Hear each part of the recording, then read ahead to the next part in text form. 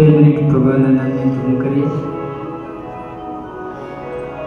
સ્વામિનારાયણ સ્વામિનારાયણ.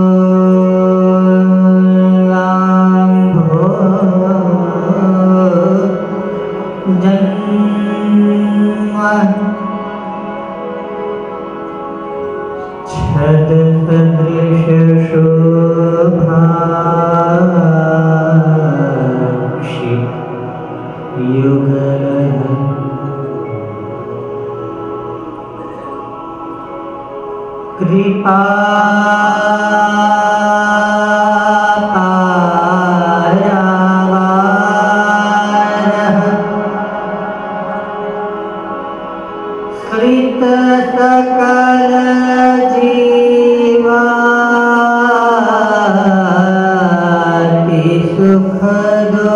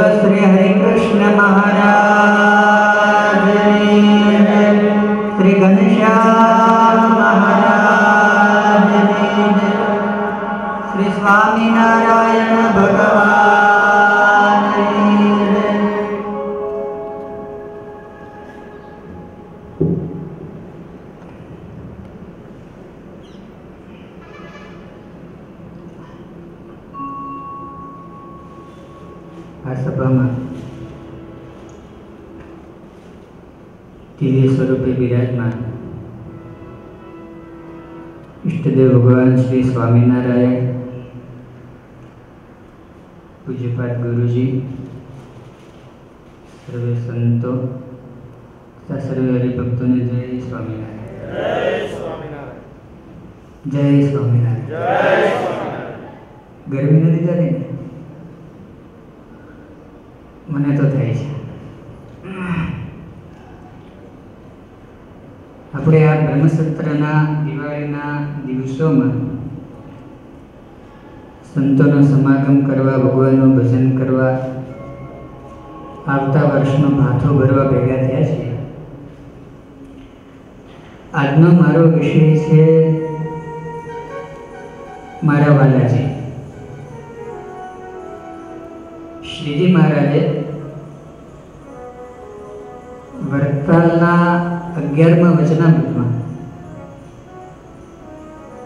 આપણને બધાને આજ્ઞા કરી છે કે મારા હોય એમણે બધાએ રોજ આ બે પદ કંઠે કરીને ગાવા. એક મુક્તાનંદ સ્વામી રચિત, મારા વાલાજી શું વાલ બધી છે? અને બીજું પદ, નરસિંહ નેતા રચિત, મારા હરિજી શું હેત છે? આમાં જે મુક્તાનંદ સ્વામીની રચના છે ઇતિહાસ અને એને કંઈક થોડુંક વાગોળીએ બરાબર? સૌ પ્રથમ એની પ્રથમ પંક્તિ ગાઈશું. તમે બધા ઝીલજો અને ત્યારબાદ એમાં ઊંડા ઉતરીશું.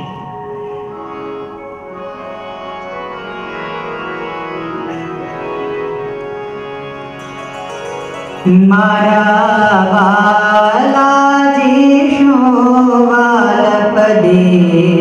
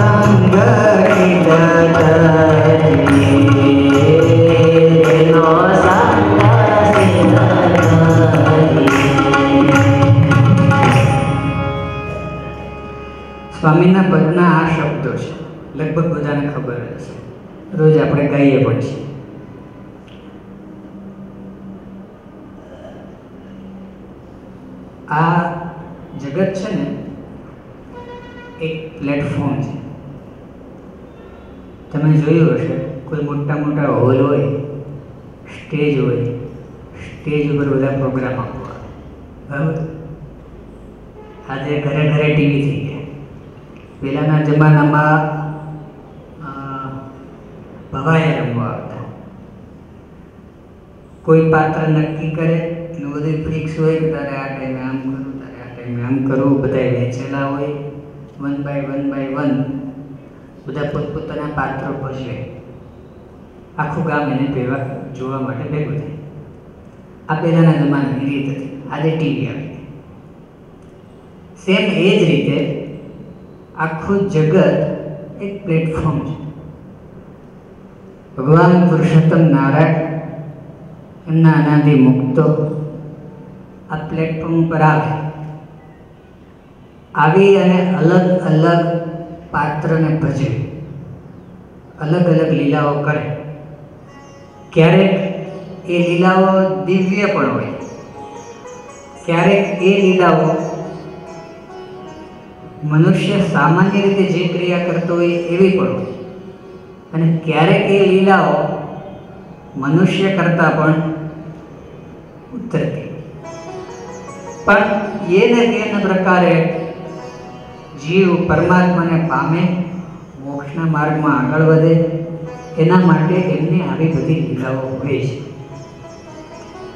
સદગુરુ મુક્તાનંદ સ્વામીએ એવી ઘણી બધી લીલાઓ કરેલી. સ્વામીનું પાત્ર બહુ ઊંચું હતું. અલગ અલગ જગ્યાએ સ્વામીએ એવી એવી રીતે પાત્ર ભજવ્યું. આ પદની અંદર પણ સ્વામી કંઈક એવું જ પાત્ર ભજવ્યું જનરલી જોતા એવું લાગે છે કે સત્સંગની માં જે કહેવાય, આટલા મોટા સદગુરુ કહેવાય ને એમને આવું થાય.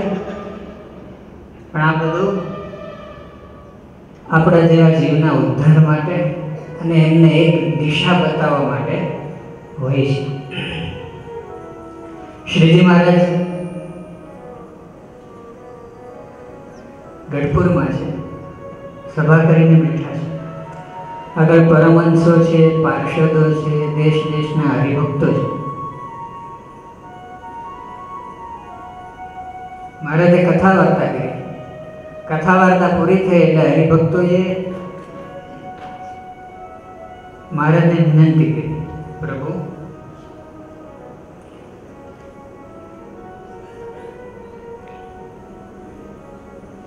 અમારા ગામની અંદર સંતોને મોકલો. હરિભક્તો વિદાય થયા પછી મહારાજે સંતોના મંડળ કર્યા. એમાં છેલ્લે વારો આવ્યો. ગુરુ મુક્તાનંદ સ્વામીનો. એમનું મંડળ બાંધવાનું હતું. અમુક.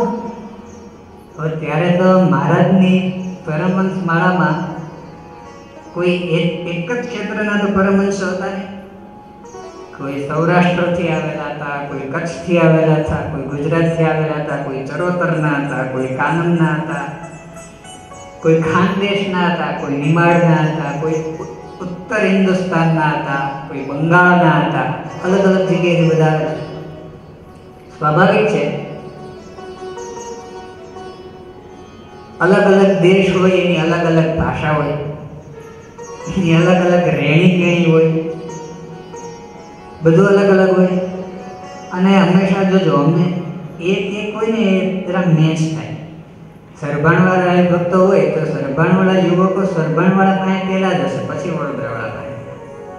ભલે બધા શ્રીજી મહારાજના જ હરિભગત છે, શ્રીજી મહારાજને જ સેવે છે, ગુરુજીના જ શિષ્યો છે.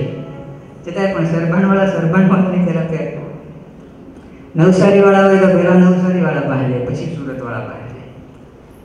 આ જ રીતે ત્યાં પણ કંઈક અમારા ભાઈ ગાવા બગાડવા વાળા હોય તો એ પહેલા મેચ થઈ જાય. પછી વક્તા પાસે જાય. રસોડામાં એવું રસોડા રસોડા, જે સંતો મહારાજનો થાળ કરતા હોય, થાળ કરવા કરવા બધા ભેગા થઈ જાય. પાછા સંગીતવાળાની મેચ ના થઈ જતી હા, અંતરથી બધાને આત્મીયતા હોય. પણ લગાવ પહેલા ક્યાં જાય? જેની આરે બોલી, ક્રિયા રેણી કેણી બધું સેટ થાય છે, બધું મેચ થાય છે, એની પાસે પહેલા છે કોઈનો અંતરથી અભાવે ના હોય મહિમાય હોય, બધું છે, પણ મને ક્યાં ફીટ આવે છે? સેમ એવું જ કંઈક અહીંયા થયું મુક્તાનંદ સ્વામીનું મંડળ બાંધવાનું હતું, એટલે ઉત્તર હિન્દુસ્તાની જે સંતો હતા ને, એને મહારાજે કીધું કે તમારે બધાએ મુક્તાનંદ સ્વામી ભેગા ફરવા જવાનું છે. હવે એક તો સ્વામી મોટેરા સંત, એમની એક એક ક્રિયા શ્રીજી મહારાજની અનુવૃત્તિ પ્રમાણે ચાલતી હોય. એમની એક એક ક્રિયા રામાનંદ સ્વામીની અનુવૃત્તિ પ્રમાણે ચાલતી હોય. એમની એક એક ક્રિયા શાસ્ત્ર પ્રમાણે ચાલતી હોય. હવે એમનું વર્તન આટલું ઊંચું હોય અને જે આજે કોઈ સત્સંગમાં આવ્યો હોય, એનું વર્તન આટલું હોય, બે મેચ કેવી રીતે થાય? થાય એક તો આ સંતો ઉત્તર હિન્દુસ્તાની અને એમાંય પાછું સદગુરુ મુક્તાન સ્વામી હારે જવાનું. પેલા સંતો કે, દેખો મારા હમ સબ કરેગા, તુમ કહેગા તો ભૂખા મરેગા, તુમ કહેગા તો સેબ પાણી પીએગા तुम कहेगा तो वायुपान करके जीवेगा तुम कहेगा तो नंगा फिरेगा तुम कहेगा तो जंगल में रहेगा लेकिन मुक्तानंद के साथ नहीं जाएगा શું કહે સંતો તમે જે કહેશો એ બધું કરવા તૈયાર છે પણ વિચાર કરો મોટા સાધુ સાથે રહેવું કેટલું અઘરું હશે तुम कहेगा तो भूखा मरेगा। तुम कहेगा तो पानी पी के रहेगा। तुम कहेगा तो वायु पान करेगा। अरे तुम कहेगा तो नंगा घूमेगा। तुम कहेगा तो जंगल में रहेगा, लेकिन मुक्तानंद के साथ नहीं रहेगा महाराज कही दो महाराज कही ना कि भला तो विदय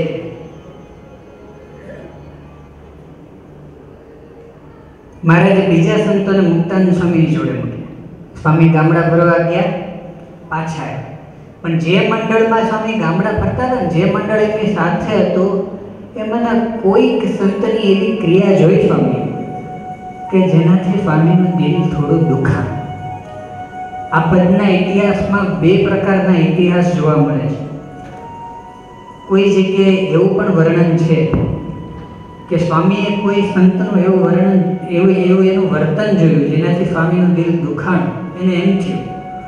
સ્વામીને એમ થયું કે આવા વર્તનથી આપણી સંપ્રદાયની આબરૂને બટ્ટો લાગે. આવા વર્તનથી શ્રીજી મહારાજ નારાજ થઈ આવું વર્તન હરિભક્તો જોવે તો હરિભક્તોને અભાવ આવે. આવું એમને થયું. આવું થયું એટલે સેજ અંતરમાં એવો સંકલ્પ કર્યો. આના કરતાં આ સાધુને રજા આપીએ તો સારું. આ સ્વામીનો સંકલ્પ મહારાજે અંતર્યામીપણે જાણ્યો અને સ્વામીને આજ્ઞા કરી એક ઇતિહાસ આવો છે.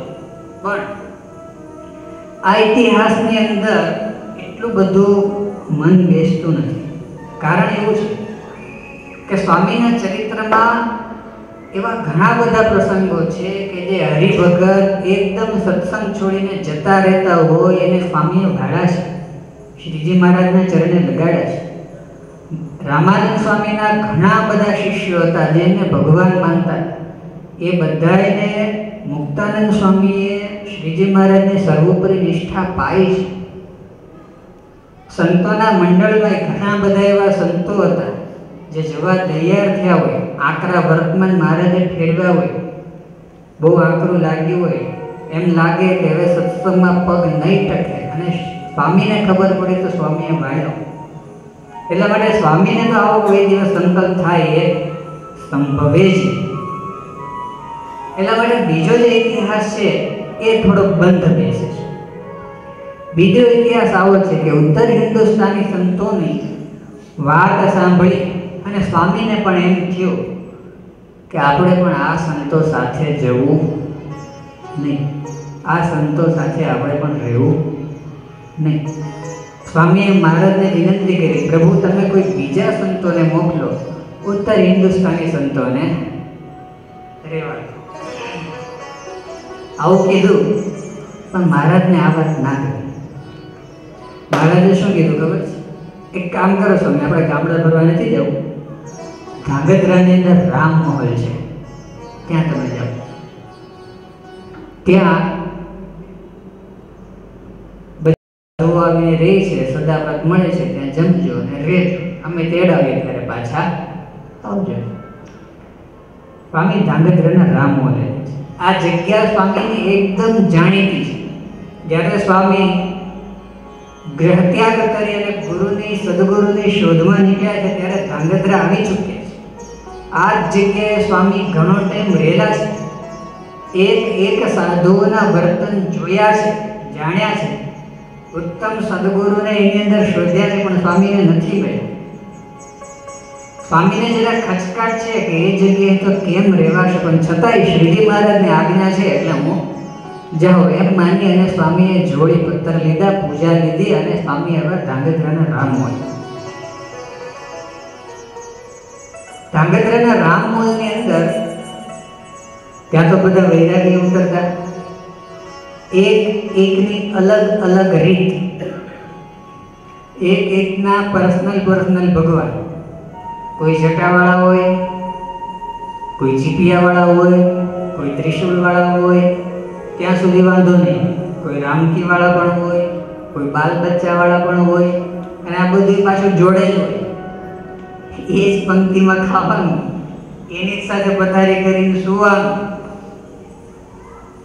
હવે આ બાબાઓનું વર્તન અને આપણા સંપ્રદાયના ટોપ લેવલના સદગુરુ જેને શ્રીજી મહારાજ પોતે ગુરુ તરીકે સ્વીકારે એ સદગુરુ મુક્તાનંદ સ્વામીનું વર્તન. મેચ જ ના થાય. સ્વામી બાવાઓની બધી ક્રિયાઓને જોવે છે. એ બાવાઓ બેફામ વર્તન કરે છે. બેફામ ગાળો બોલે છે. ધમકીઓ આપે છે. દર્શનાર્થીઓને પોતાનો મહિમા સમજાવી સમજાવી એના ધનને ધૂતે છે. એની નારીઓને લૂંટે છે. આવી બધી બાબાઓની ક્રિયાઓ જે કે સ્વામી તો એકદમ આકડા વાકડા ગયા સ્વામીનો સ્વભાવ હતો. મધ્ય પ્રકરણનું સત્યાવીસમું વચનામૃત. મહારાજે સ્વામીને પૂછ્યું, સ્વામી, અમારે તો એક લાખ રૂપિયાનો બગાડ દઈએ તો એ ક્રોધ ના થાય. તમને ક્રોધ કેમ થાય? ત્યારે સ્વામી એવું કીધું, કોકની અવડાય છે ત્યારે મારે લગારે ક્રોધ થાય. પાછો સમજી આ બાબાઓ તો નકરી અવળાઈને જ ભરેલા હતા. એમાં તો એક સદગુણ દેખાય મળતો જ નહીં. એની અવળાઈને જોઈ હવે સ્વામી ધંગધ્રમાં બેઠા બેઠા મહારાજને યાદ કરે છે હવે સ્વામીને આ બાબાઓના વર્તન જોઈ જોઈ મહારાજ યાદ કરે. મહારાજ નહીં મહારાજની સાથે રહેતા એક એક પરમહંસને સ્વામી યાદ કરે છે. એક એક પરમહંસની ક્રિયાને સ્વામી યાદ કરે છે. ગમે એવા હતા, પણ આવા તો નહોતા જ. ભલે કંઈક બોલતા હતા, કંઈક ચાલતા હતા, થોડું ઘણું ઊંઘી રહેતા હતા, પણ રામકીઓ તો નહોતા જ રાખતા. ગાળો તો નહોતા જ બોલતા. વ્યસનો તો નહોતા જ કરતા. એમ કરતા કરતા એક એકને સ્વામી સંભાળે છે, એક એક સાધુને સંભાળે છે, એક એક પાર્ષદને સંભાળે છે, એક એક હરિભગતને સ્વામી સંભાળે છે. આ તો એકદમ કુશનની અંદર જબરો કુશન નરક કરતા અઘરું સ્વામી આ પદમાં આગળ ગઈ, તમને નરક કરતા ખરાબ લાગે છે. આવા કુશળને સ્વામી જોયા. આવો કુશન સ્વામીએ જોયો. હવે ધીરે ધીરે મહારાજને, મહારાજના સંતોને યાદ કરે છે. એમાં જ સરતા સરતા સરતા સરતા સ્વામીની આંખમાંથી આંસુ જાય છે. સ્વામી વૃદ્ધ છે. સ્વામીનું શરીર ધ્રુજે છે. પણ કોને કી કોણ સાંભળે? ત્યારે સ્વામીએ હાથમાં કલમ અને કાગળ લઈ આ પદની રચના કરી. રચના કરી અને મહારાજને મોકલાવી. સ્વામીના હૃદયના ઉદ્ગારો બાવાઓને જોયા ત્યારે નહીં. બાવાઓને જોયા પછી એમણે મહારાજના સાધુને, મહારાજના હરિભગતને, મહારાજના પાર્ષદોને યાદ કર્યા છે. યાદ કરે સ્વામી, રડે કોને યાદ કરીને રડે મહારાજના સાધુઓને યાદ કરીને રડે સ્વામીના એવા ઘણા ચરિત્રો છે. બીજા સંતોના એવા ઘણા ચરિત્રો છે. મહારાજની મૂર્તિના વિરહ કરી અને રડતા હોય. પણ આ પદનો ઇતિહાસ એમ કહે છે કે સ્વામી એક એક સંતને યાદ કરીને ગમે એવા હતા તોય આવા તો હતા અને સ્વામી લખે છે.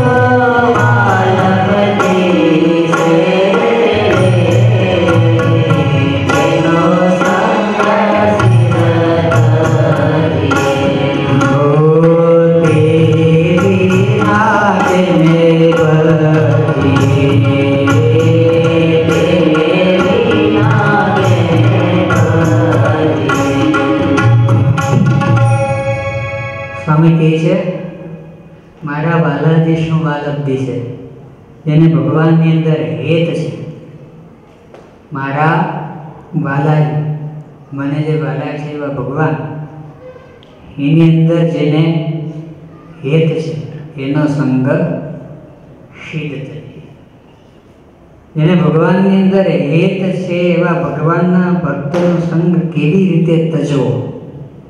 એને ભગવાનના, ભગવાનની અંદર હેત છે એવા ભગત વિના, તે વિના કેને ભજીએ એ એના વગર કોનું ભજન કરવું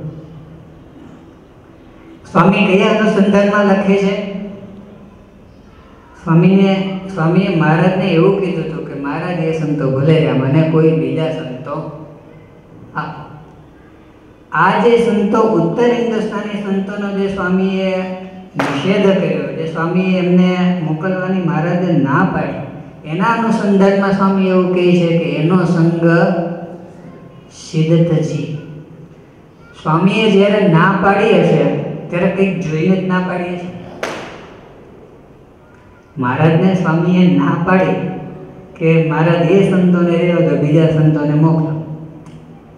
તો કંઈક એવું સ્વામીને દેખાણું છે, ત્યારે જ ના પાડી છે એ વગર તો એનો મતલબ બધાની અંદર કંઈક ને કંઈક કંઈક ને કંઈક કોઈ ખરું. મનુષ્યનો દેહ છે એટલે દેહ છે એ એની ક્રિયા ભજવે છે. બીજું આ લોક જ એવો છે કે એ એની ક્રિયા ભજવે છે. એ છતાંય પણ એ ભગવાનના ભગત છે, એને ભગવાનનો સંબંધ છે, એટલા માટે એને ક્યારેય છોડવા ના જોઈએ.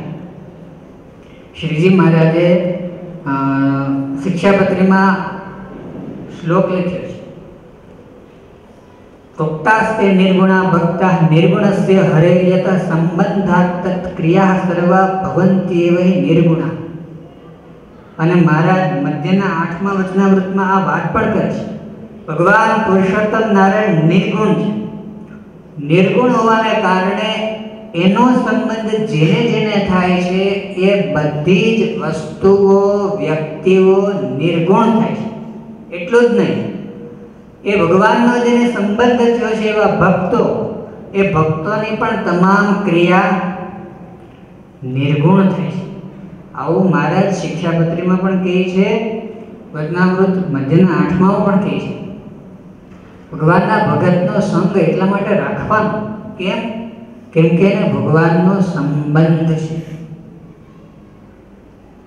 આપણે પ્રસાદી કોઈ કોઈ માનો આ ઘડિયાળ છે, એ સમયે તો ઘડિયાળ નથી.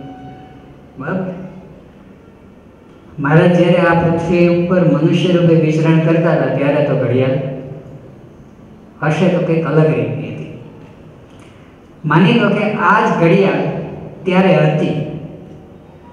તમને અને મને ખબર નથી કે આ ઘડિયાળ ત્યારે હતી. આપણને કોઈએ એવું કીધું કોઈ જાણકાર, કોઈ વડીલ છે અથવા તો કોઈ જૂના જૂના સંત છે એક્સપાયટેડ કોઈએ પણ આપણને એવું કીધું કે આ ઘડિયાળને શ્રીજી મહારાજે વાપરેલી છે. આટલું આપણે સાંભળીએ, તરત આપણી દ્રષ્ટિ કેટલી બદલાય અથવા તો આપણે એમ સાંભળીએ કે આ ઘડિયાળ સદગુરુ મુક્તાન સ્વામીએ વાપરેલી છે. આપણી દ્રષ્ટિ કેટલી બદલાય છોડ. એવું સાંભળીએ કે ગુરુજી રોજ આ ઘડિયાળ વાપરે છે. ઘડિયાળ એની એ જ. કોઈએ કીધા પહેલાં આપણી દ્રષ્ટિ કેવી હતી? અને કીધું આપણે જાણ્યું કે શ્રીજી મહારાજે વાપરેલ છે, કે મુક્તાનંદ સ્વામીએ વાપરેલ છે, કે ગુરુજીએ વાપરેલ છે. પછી દ્રષ્ટિ કેવી થઈ કેમ? કેમ કે મહારાજનો એ ઘડિયાળને સંબંધ થઈ સદગુરુ મુક્તાનંદ સ્વામીનો એ ઘડિયાળને સંબંધ થઈ. ગુરુજીનો આ ઘડિયાળને સંબંધ. એટલે એના પ્રત્યે દ્રષ્ટિ આખી બદલાઈ. વસ્તુ, વ્યક્તિ, એના એ જ રહેશે પણ સંબંધ બદલાઈ જાય એટલે એની અંદર બધું બદલાય રોડ ઉપર રખડતો કોઈ છોકરો હોય, માનો કોઈ યુવાન છે, બરાબર? બિન સત્સંગી છે, વ્યસન, ફેશની, બધું જ છે. એ જ વ્યક્તિ અંદર આવીને ભગવાનનો ભગત થાય તો માણસ બદલાઈ જાય છે? નથી બદલાતો. વ્યક્તિ એનો એ જ છે. પણ એને ભગવાનનો સંબંધ થઈ ગયો, એને ભગવાનના સંતનો સંબંધ થઈ ગયો, એટલે એના પ્રત્યેની આપણી આખી દ્રષ્ટિ બદલાઈ જશે. એમ જેને જેને ભગવાનનો સંબંધ થાય છે, એ બધા નિર્ગુણ થાય છે. જેને ભગવાનનો સંબંધ થાય છે જેને ભગવાનનો સંબંધ છે એવા જે ભગવાનના ભગત, એનો સંગ મારે કેમ છોડવો આવું સ્વામી આ પદમાં કહે છે. આપણે કોઈ પણ પ્રસાદીની વસ્તુ હોય તો તરત એને સ્પર્શ કરીને આંખે અડાડશું, આપણે એને પગે લાગીશું. પ્રસાદીનું નિમિત્તરું છે ગઢપુરમાં, લોયામાં, ત્યાં આપણે દંડવત કરીએ છીએ, એટલું જ નહીં. નીચે ધૂળની અંદર દંડવત કરીએ. પછી ઘણા ભક્તો તો હવે લીમતરુની જે છાલ છે, સ્વાભાવિક છે, વાગે એવી છે. પણ છતાંય ઘણા ભક્તો એને ભેટે છે. હવે કોઈ ઝાડવાને ભેટતો જ કેવો લાગે? પણ એ જ જગ્યાએ આપણે જેવા દર્શન કરીએ કે લીમતરુને કોઈ ભગવાનનો ભગત ભેટે છે, તો લીમતરુને વિશે અને એ જે ભગવાનનો ભગત જે લીમતરુને ભેટે છે, એ બેને વિશે આપણી કેટલી દિવ્ય બુદ્ધિ થશે કેમ કેમ કે એને ભગવાનનો સંબંધ છે.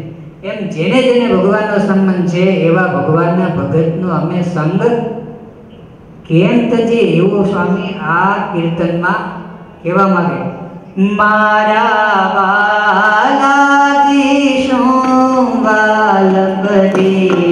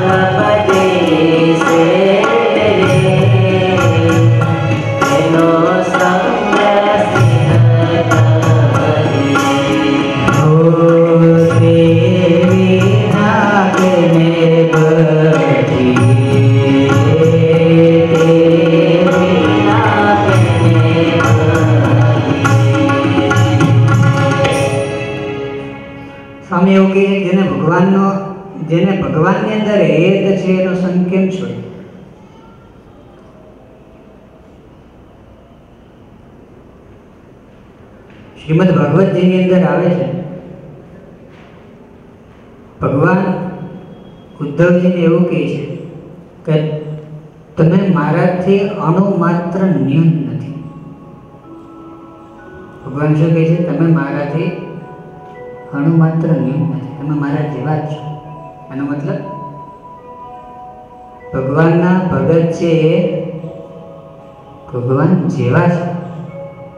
સદગુરુ બ્રહ્માનંદ સ્વામીનું આખું પદ છે. ભવસાગરમાં શરણ અચળ અવિનાશી સાચા સંત. આપણા શ્રીજી સ્વામીએ પુરુષોત્તમ પ્રગટ્યા એ સીડીની અંદર આ ગાયું છે. બહુ સરસ પદ છે. કંઠે કરવા જેવું છે ને રોજ વાપરવા જેવું છે. સ્વામી એની અંદર એક પંક્તિ ત્યાં સુધી લખે છે. હરિ હરિ જન એક સદા. ભગવાન ને ભગવાનના ભક્ત તો એક જ છે. એનો સંગ કેમ છૂટે? ઉદ્ધવજીને ભગવાન શ્રી કૃષ્ણ નારાયણનું અતિશય મહાત્મ્ય હતું. ભગવાનના સ્વરૂપને બહુ જ સારી રીતે જાણતા હતા. પણ છતાંય છતાંય ભગવાનને એમની એક ખોટ નહોતી ગમતી. ભગવાનને બહુ સારી રીતે જાણતા હતા. ભગવાનને સારી રીતે ભજતા હતા ભગવાનની તમામ સેવાઓને કરતા હતા છતાંય પણ ભગવાને એમને ગોપીઓને સમજાવવાનું મીશ લઈ, ગોપીઓને બ્રહ્મજ્ઞાન આપવાનું મીશ લઈ અને ગોપીઓ પાસે મોકલ્યા કેમ? ઉદ્ધવજીને ભગવાનનો સમાગમ હતો, ભગવાનનો યોગ હતો, પણ ભગવાનના ભગતનો યોગ નહોતો. ભગવાને કૃપા કરી અને ઉદ્ધવજીને પોતાના વાલા ભક્તને ગોપીઓ પાસે ગોપીઓ પાસે ઉદ્ધવ આવ્યા છે. ગોપીઓને ઉદ્ધવજીએ ઘણું ઘણું કીધું છે. ગોપીઓએ પણ ઉદ્ધવજીને ઘણું ઘણું કીધું છે. પરસ્પર વાતો થઈ. ત્યારબાદ ગોપીઓની ચેષ્ટાઓ જોઈને ગોપીઓની ક્રિયાઓ જોઈને ઉદ્ધવજીને ગોપીઓને વિશે એટલો બધો ભાવ થયો છે, એટલો બધો ભાવ થયો છે. ગોપીઓ, ગોપીઓને પ્રાર્થના કરી છે ઉદ્ધવજી. તમારી જેવી શ્રી કૃષ્ણને વિશે અચળમતી છે એવી મને થાવ, એટલું નહીં. ઉદ્ધવજી ભગવાન પાસે પરત મથુરા આવે છે અને ત્યારે ભગવાન પાસે દર વખતે શું થતું હતું? ઉદ્ધવજી ભગવાન પાસે એટલે ભગવાનના ગુણ ગાઈ ભગવાનની સ્તુતિ કરે. આજે ઉદ્ધવજી ગોકુળ પાસેથી મથુરા પાસે આવ્યા તો ભગવાન પાસે ઉદ્ધવજી ગોપીઓના ગુણ ગાય છે. ગોપીઓની વાતો કરે.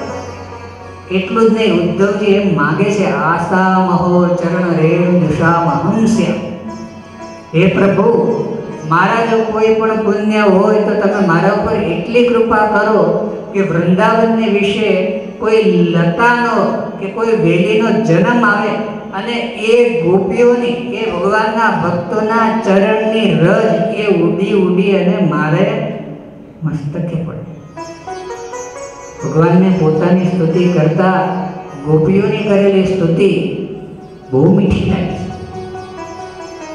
ભગવાન ઘણો ઉદ્ધવ ઉપર રાજી થયા કેમ? કેમ જે એણે ભગવાનના ભગતની સ્તુતિ કરી. ભગવાનના ભગતનો મહિમા જાણ્યો. ભગવાનના ભગતના ગુણ ગાયા. એટલું જ નહીં, ભગવાનના ભગતના ભગવાનના ભગતના ચરણની રજ માથે પડે એવું વચન માંગ્યું, એવો જન્મ માંગ્યો. ભગવાનને બહુ ગમે છે. તમે જુઓ તમે મંદિરે દર્શન કરવા આવો કહીને ગુરુકુલે દર્શન કરવા આવો, ઠાકોરજીનો પ્રસાદ તમે હો તમારી સાથે તમારો ચિરંજીવી હોય. તમને આપે સંત, તો વધારે ગમે કે તમારા ચિરંજીવીને આપે, તો વધારે ગમે. કોઈ બોલતું નથી. તો ભગવાનની હિંમત છે. ભગવાનને પોતાને ભજે એના કરતા ભગવાન પોતાના ભગતને ભજે એને બહુ વાલો ગણે છે.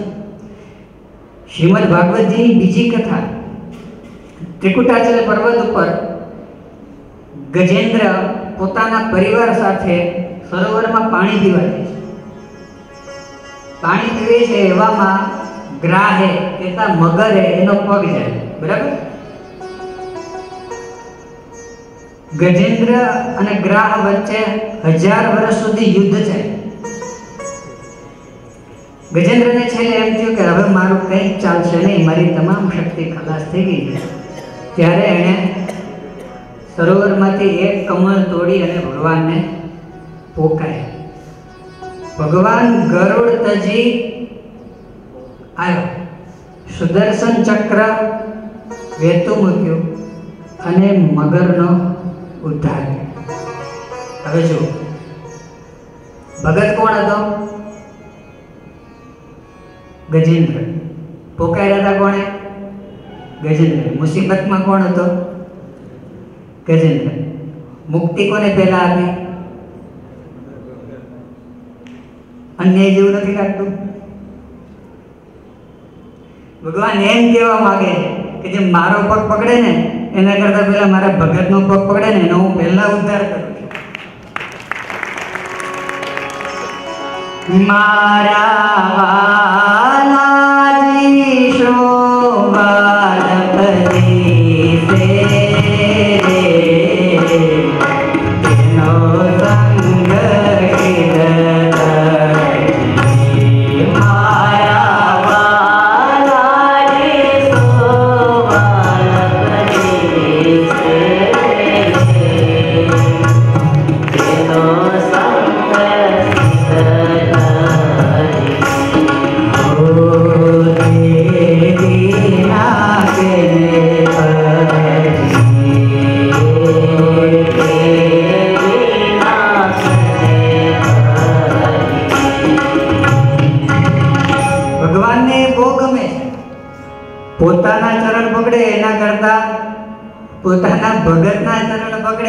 ભગવાન પેલા મુક્તિ કરી દે એટલા માટે સ્વામી એવું કહે છે, તે વિના કેને ભજીએ?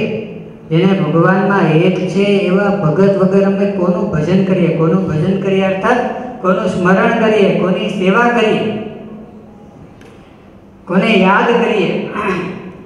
કોનું પૂજન કરીએ? આટલા આટલા ભગવાનના, ભગવાનને પોતાના ભક્તો વાલા છે. શ્રીજી મહારાજ હરિચરિત્રામૃત સાગરની અંદર આ કથા. સંતો બધા નિયમ લેતા હતા, ત્યારે ભગવાને ત્રણ નિયમ લીધા. એમાં એક નિયમ એવું લીધો, સંતો જ્યારે ગામડેથી વિચરણ કરી અને આવે, ત્યારે મારે એમને સમતેડવા જવું. બીજું, સંતો, સંતોની પંક્તિ થાય એટલે મારે એમને પીરસવા જવું જો આ મહારાજનો રોજનો ક્રમ હતો. શ્રીજી મહારાજ પીરસતા હતા હરિચરિત્રમ સાગરની અંદર એવું લખ્યું, પીરસતા પીરસતા મહારાજ પંક્તિમાં ફરીને પછી જ્યાં મહારાજનું આસન હતું ત્યાં આવીને મહારાજ બેઠા. અને મુકુંદાનંદ વર્ણી એમ કહે છે, પ્રભુ, આપ હવે થાક્યા હશો, એટલે હવે તમે રહેવા દો. તમે ચાર વાર તો પંક્તિમાં ફરી લીધું. ત્યારે મહારાજ પોતે એવું બોલ્યા છે કે સંતોની આટલી સેવા મને મળે છે એ મારા બહુ મોટા હું ભાગ માનું છું. મહારાજ પોતે બોલે, સંતોની મને આટલી સેવા આટલી સેવા કરવાની મને તો ટેવ પડી ગઈ એટલું જ નહીં મારા ત્યાં સુધી બોલ્યા કે જે દિવસે મને સંતોની સેવા નથી મળતી, એ દિવસે મને એમ થાય છે કે મારો આ દિવસ અલેખ્ય મારો આ દિવસ વાંજ્યો આ દિવસે મારાથી સંતોની સેવા ન થઈ. આ દિવસ મારો વ્યર્થ વિચાર કરો, ભગવાનના હૃદયની અંદર, ભગવાનના સાધુ માટે, ભગવાનના ભગત માટે કેટલો ઊંચો ભાવ. એટલું જ નહીં. પીરસતા હતા મહારાજ, રોજની ક્રિયા. એકવાર સંતોની પંક્તિમાં પીરસી મહારાજ પોતે થાળ આરોગવા માટે તો મહારાજે શું કર્યું ખબર? થાળ લીધો. સંતોની પંક્તિ, સંતોની પંક્તિમાં ફર્યા અને એકે એક સંતના પત્તરમાંથી એક એક ગ્રાસ લીધો અને મહારાજ પોતે જમ્યા. મહારાજ પોતે સંતની પ્રસાદી જમ્યા. કેટલો ઊંચો ભાવ હશે? એટલું જ નહીં. દાદા ખાચરની ઘોડી બીમાર થઈ કોઈ જગ્યાએ માણકી ઘોડીની પણ વાત આવે. ઘોડી બીમાર થઈ તો મહારાજ પાસે વાત આવી કે ઘોડી બીમાર થઈ તો મહારાજે શું કર્યું? એક ત્રાસ મગાવ્યો, જળ મગાવ્યું, ત્રાસની અંદર જળ રેડાવ્યું. પછી જેટલા સંતો ત્યાં હાજર હતા બધા સંતોને આજ્ઞા કરી, એક એક સંત ઊભા થઈને આવો અને આ ત્રાસમાં જે જળ છે, એમાં પોતાનો જમણા પગનો અંગૂઠો હોય એક એક સંત ઊભા થઈને આવ્યા વારા ફરતી એક એક સંતે એમાં ચરણ પડ્યા. ત્યારબાદ એ ચરણ, એ જે ચરણામૃત હતું, કોનો? સંતોનું ચરણામૃત હતું, એ મહારાજ અંજલિ ભરીને પાન કરી તેરી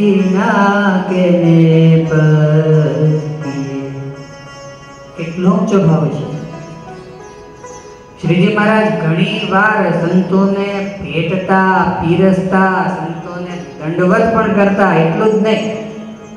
સંતોની પ્રસાદી પણ જનતા અને સંતોનો ચરણામૃત પણ લેતા. પ્રથમના, પ્રથમ પ્રકરણના સાડત્રીસમાં વચનામૃતની અંદર મહારાજ ત્યાં સુધી કહે છે કે એવી નિષ્ઠાવાળો જે સંત છે એના દર્શનને તો અમે પણ ઈચ્છીએ છીએ. એના ચરણની રથને અમે પણ માથે ચડાવીએ છીએ. આવી સંતની ભક્તિ, આવી ભક્તની ભક્તિ તો સ્વયં ભગવાન પોતે કરતા. મારા નદી પ્રકરણના અઠ્યાવીસમાં વચનાવૃતમાં એમ કે એટલો જો ગુણ ના હોય, તો કોઈ મોટો જ ના થાય. હું તો ભગવાનના ભક્તનો પણ ભક્ત છું. એટલા માટે મુક્તાનંદ સ્વામી અહીંયા આવું માગે છે. શું માગે છે? હે મારા તમારા ભક્તોની અંદર જેને હેત છે, એનો સંગ મને ક્યારેય છૂટશે, છૂટશો નહીં. હે ભગવાન, સદાય એમની સેવા થાય, સદાય એમનો યોગ રહે. એવો કરાવજો. તે ભજી મારા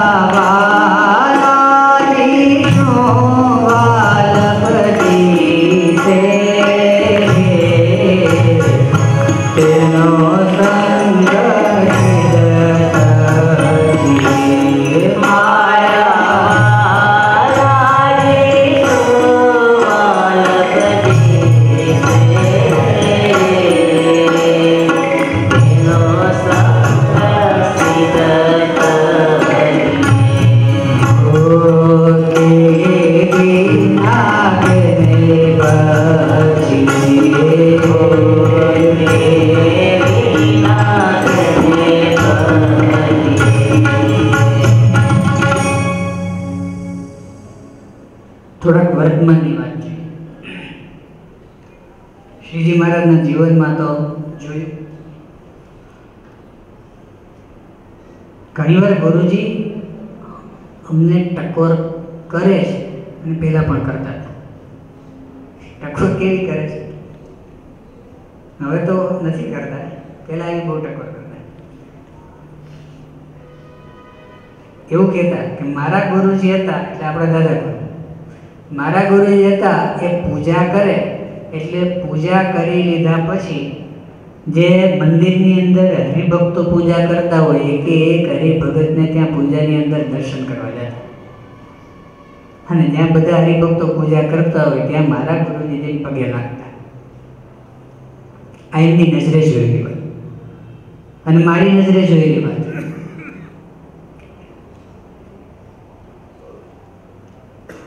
શ્રીજી મહારાજે આદરતની અંદર મુક્તાનંદ સ્વામીની આરતી ઉતારી છે. આવું આપણા સંપ્રદાયના ઇતિહાસમાં ઘણા ગ્રંથોમાં મળે છે. આરતી ઉતારી છે. સેમ એવો જ પ્રસંગ બે હજાર ચાર કારેલીબાગ મંદિરે પ્રીતમ પ્રાણ પ્રતિષ્ઠા મહોત્સવ ઉજવાતો હતો. એ ઉત્સવની અંદર ભુજથી પુરાણી સ્વામી ઘનશ્યામ જીવનદાસજી સ્વામી એ પોતે બધા અમે જ્યારે વડોદરા ગુરુકુલ ગુરુજી અહીંથી કારેલીબાગ ગયા. ત્યાંનું ઉત્સવનું સત્ર પૂરું થયું. એટલે ઘનશ્યામ જીવન સ્વામીને સાંજે કારેલીબાગ મંદિરેથી તેડી અને વડોદરા, આપણા વાઘોડિયા ગુરુકુલે રહ્યા. વાઘોડિયા ગુરુકુલે સ્વામી પધાર્યા એટલે ગુરુજીએ પહેલાં તો એમની જે રૂમ છે ને, ત્યારે એ રૂમ નથી. એક ખાલી એક શેટી હતી. એ શેટી ઉપર સ્વામીને બેસાડી. ત્યારબાદ સંતો પાસે એક ત્રાસ મંગાવ્યો ત્રાસમાં સ્વામીના ચરણ પધરાવી સ્વામીના ચરણને ધોયા. અને સ્વામીનું જે ચરણામૃત હતું, એ પહેલાં પોતે પાન કર્યું અને એક એક સંતને ત્યારબાદ સ્વામીને જળ સ્વામીએ થોડું પીધું અને જે વધ્યું એ પોતે પાન કર્યું અને ત્યાં જેટલા સંતો હતા, એને જેટલા હરિભક્તો ત્યાં હાજર હતા,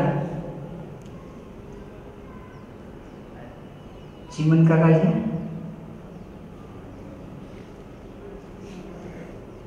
તમે નહીં? વડોદરાવાળા એ કદાચ ત્યાં હાજર હતા. બધાને? એટલું નહીં? સ્વામી સાથે આપણું જે ત્યાં મંદિર છે ને મહારાજનું ત્યાં આવ્યા, એક થાળીની અંદર આરતી તૈયાર કરી. આરતીનો કોઈ સમય નહોતો. એક હાથ સ્વામીએ જારી રાખી આરતી અને બીજા હાથે ગુરુજીએ જારી.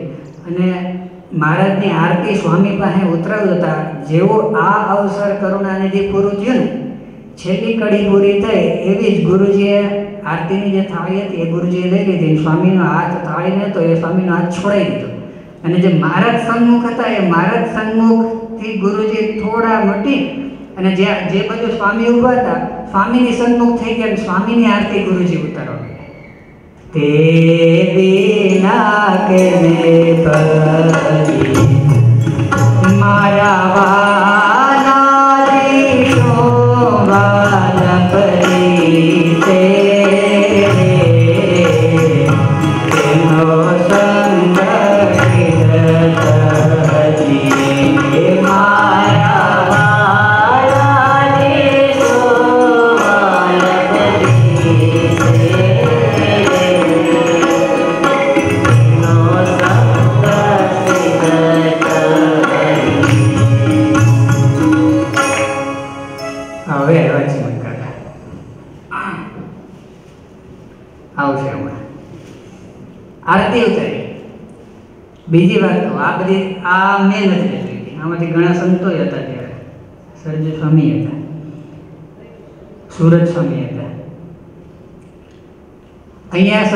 સ્મૃતિ મહોત્સવ થયો હતો. તમે બધાએ દર્શન કર્યા છે. ગુરુજીએ પહેલા દિવસે આ સંપ્રદાયના તમામ વડીલ સંતોનું પૂજન કર્યું. બધાએ સંતોને દંડવત કર્યા અને સંતોની આગળ નાચી એટલું જ નહીં. પોતાના જ શિષ્યો, પોતાના જ મંડળના સાધુઓ, પાર્ષદો બધાનું ગુરુજીએ પૂજન કર્યું. હાર પહેરાવ્યા બાજુબંધ બંધાયા. આ શું છે? ભગતની ભક્તિ ગુરુજી પોતાના જીવનમાં જુઓ, કેટલી રાખે છે. પેલા સંત આશ્રમમાં જ્યારે રહેતા હતા, ત્યાં ઠાકોરજીના હોલમાં રાત્રે બધા સંતો ત્યાં આરામ કરતા. તો ત્યારે ઘણી વખત એવું બન્યું. ગુરુજી અડધી રાત્રે ઊભા થાય હોલમાં સંતો સૂતા હોય, આખા હોલને પ્રદક્ષિણા કરે. બધા સંતો સૂતા હોય, બધા સંતોની ફરતે ગુરુજી પોતે રાત્રે ઉઠી ઉઠી અને આવું તો ઘણા સંતોએ જોયું છે. પ્રદક્ષિણાઓ કરે, દંડવત કરે, આવું તો ઘણી વાર કર્યું છે. આપણે ત્રિભુવન ભગતજી હતા. ભગતજી જ્યારે બીમાર હતા, ત્યારે છેલ્લી અવસ્થાએ જ્યારે ધામમાં ગયા, એ સમયે છેલ્લે છેલ્લે ગુરુજી એમને અગિયાર અગિયાર દલવત કરતા. ગુરુજી એમને કરતા. રમણ કાકા, તમે હતા. અહીંયા રંગોત્સવ ઉજવાતો હતો. અને રમણ કાકાના પાર્થિવ દેહને ભક્તો અહીંયા લાવ્યા હતા. એમના પરિવારજનો. રમણ કાકા ધામમાં ગયા પછીની વાત. એમના પાર્થિવ દેહને મુંબઈ લઈ જતા હતા. એમાં રસ્તામાં અહીંયા લાવ્યા. ત્યારે ખુરશીમાં પધરાવ્યા. ત્યારે ગુરુજી અહીંથી ઊભા થઈને ત્યાં ગયા. રમણ કાકાના પાર્થિવ દેહનું પૂજન કર્યું. એમને દંડવત કર્યા અને એમની આરતી પણ ગુરુજી તેરે નાગને ભજી, મારા પડી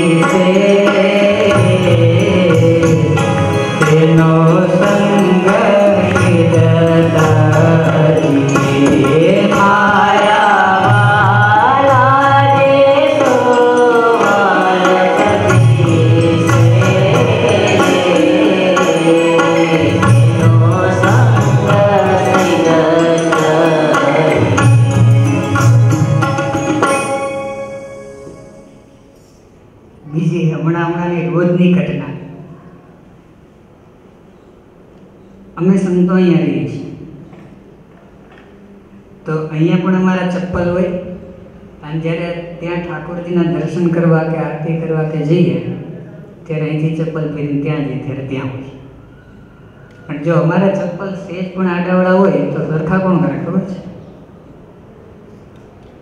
ગુરુજી સેજ બી ચપ્પલ આડાવડા જોવે તો જાતે સાધુના ચપ્પલ માની, જાતે પોતે સાધુના ચપ્પલ જાતે ગોઠવે. હમણાં અમેરિકા હતા, શિકાગો ગયા હતા, બે દિવસ પહેલા આપણા નીલકંઠસિંહનો ફોન હતો ત્યારે એમણે મને આ વાત કરી. શિકાગો ગયા ત્યારે ત્યાં પેલું પ્લેનમાંથી ઉતરે એટલે એરપોર્ટ ઉપર બધું ચેકિંગ થાય તો ચેકિંગમાં એક પછી એક વસ્તુ નીકળતી હતી. એમાં એક બેગની અંદર ગુરુજીના ચપ્પલ હતા અને એક બેગની અંદર સંતોના હતા. ગુરુજી સૌથી પહેલાં પેલું ક્રોસ કરીને આગળ ગયા એ એકલા હતા, સંતો બધા જે પાછળ એક પછી એક વસ્તુ આવતી હતી, ગુરુજી પોતે લેતા. લેતા લેતા એમના ચપ્પલ આવ્યા એ તો એમણે લીધા. પણ સંતોના ચપ્પલ જે બેગની અંદર હતા, એ બેગ ઉઠાવી, એ બેગની અંદર જેટલા સંતોના ચપ્પલ હતા, એક એક સંતના ચપ્પલ લઈ અને બરાબર લાઈનસર વ્યવસ્થિત ગોઠવી દીધા. તે વિના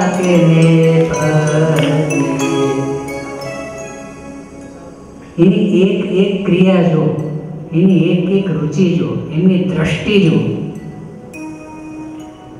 પેલા સંતાશ્રમે રહેતા ત્યારે તો ઘણીવાર એવું બન્યું છે કે ગુરુજી રાત્રે બાથરૂમમાં જાય એક એક દોઢ દોઢ બબે વાગે, અને સંતોની જે ત્યાં મૂતરડી હતી એને ઘસી ઘસીને ધોય અને ધોતા ધોતા પાછા હરખાય કે મને મારા સાધુની આટલી સેવા સેવાનો લાભ મળે.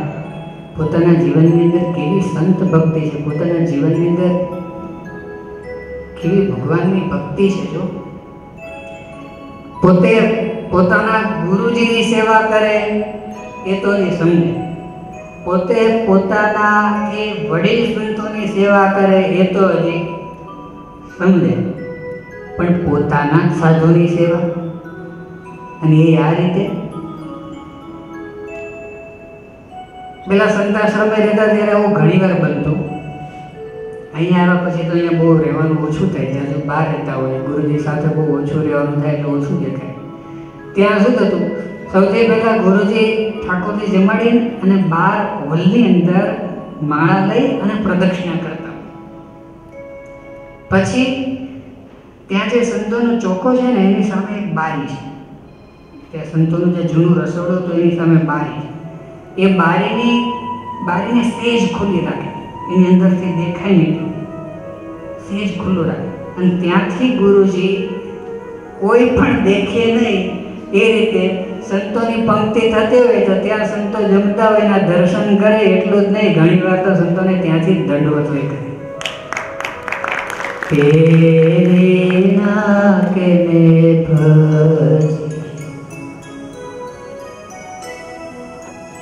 કંઈક સદગુરુ મુક્તાનંદ સ્વામીનો આવો જ અભિપ્રાય, આવો જ આદેશ માનો તો આદેશ. સજેશન માનો તો સદેશ સજેશન આ પદની અંદર સ્વામી આપે છે. અને પ્રથમ પંક્તિનો આવો એક ભાવાર્થ જે શ્રીજી મહારાજના જીવનમાં હતો. શ્રીજી મહારાજથી થયેલ પૂર્વે અવતારો એમના જીવનમાં પણ હતો. શ્રીજી મહારાજની બાદમાં થયેલ સંતો એમના જીવનમાં પણ હતો. શ્રીજી મહારાજના સમકાલીન જે હરિભક્તો, ત્યાર પછીના હરિભક્તો એમના જીવનમાં પણ હતો. આજ પણ પૂજ્યપાદ ગુરુજીના જીવનમાં જે દેખાય છે, ઘણાય સંતોને, ઘણાય હરિભક્તોના જીવનમાં પણ જે દેખાય છે, આવો જ ભક્તિભાવ, સંત ભક્તિ, ભગવાનના ભગતની ભક્તિ મારા જીવનમાં આવે એટલી પ્રાર્થના કરી મારી વ્યાખ્યાનવાળાને વિરામ આપું છું. હરે કૃષ્ણ મહારાજ